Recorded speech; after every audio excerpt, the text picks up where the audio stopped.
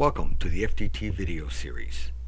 The title of this video is Proactive Maintenance Strategies with Bottom Line Benefits.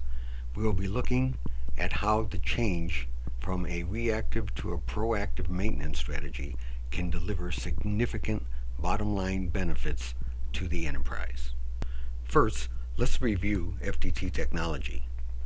FDT is an enabling technology and is included with many smart device configuration and asset management applications. With so many installed devices being smart, FDT is a valuable tool to access this intelligent device information. FDT works with your control, monitoring, and asset management or other applications to help you really see into your device to allow faster configuration, better problem diagnostics, move from reactive to proactive maintenance, and much more. The information that is presented using the FDT technology solutions uh, available in a control room or in a remote location uh, helps you know what is better going on out in the field or in the device.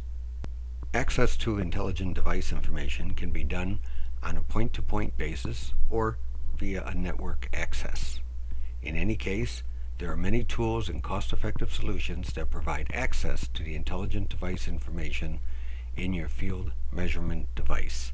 Be sure to talk to your favorite automation supplier for the many different solutions that are available today. Measuring devices can communicate many categories of information, including device diagnostics and process information. Think of the usefulness of the diagnostics in your automobile or your computer.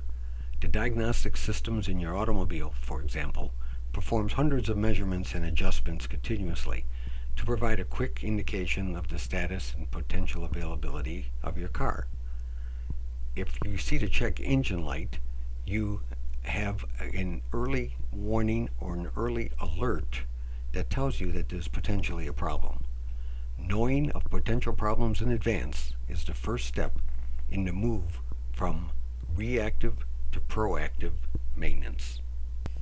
The check engine alert for automation applications are now being standardized following the guidelines outlined in NE 107 published by the NAMUR organization.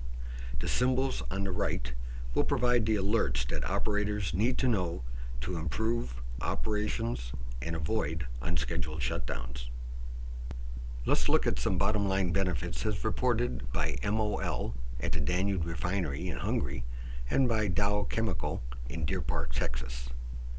MOL sees these internal and external business drivers leading to the increased use of smart device information.